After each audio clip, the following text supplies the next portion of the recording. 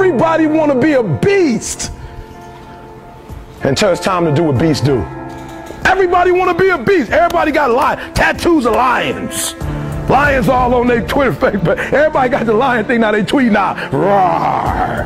Because real lions like to hunt. They love the process just as much as they love the prize. And some of y'all just want to score. You don't like the process. You're not in love with the process.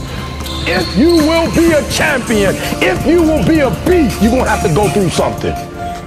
Ain't nobody gonna hand you nothing. Ain't nobody gonna hand you no championship. Ain't nobody gonna hand you no title.